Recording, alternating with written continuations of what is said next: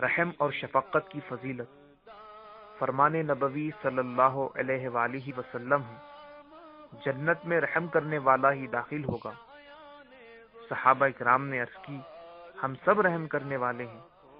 تو آپ صلی اللہ علیہ وسلم نے ارشاد فرمایا، رحیم وہ نہیں جو صرف اپنے آپ پر رحم کرے، بلکہ رحیم وہ ہے جو اپنے آپ پر اور دوسرے مسلمانوں پر رحم کرے۔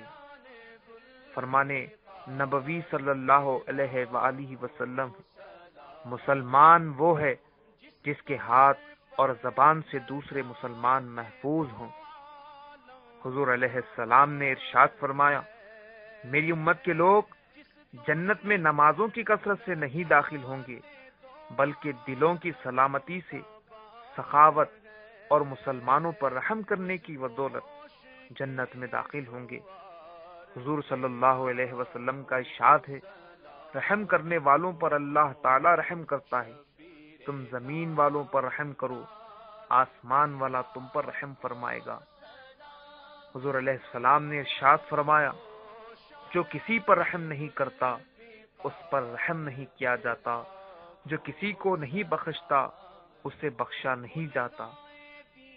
حضور علیہ السلام نے فرمایا تم پر مسلمانوں کے چار حقوق ہیں۔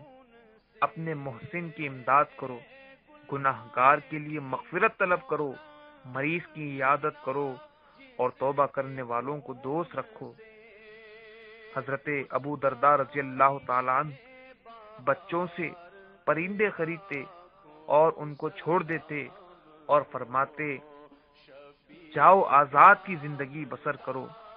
فرمانے نبوی ہے کہ رحمت، شفقت اور محبت میں تمام مسلمان ایک جسم کی طرح ہے رحمت، شفقت اور محبت میں تمام مسلمان ایک جسم کی طرح ہے جب جسم کا کوئی عضو تکلیف میں مبتلا ہو جاتا ہے، تو سارا جسم اس درد اور تکلیف میں مبتلا ہو جاتا ہے۔ بحوالہ مکاشفت القلوب۔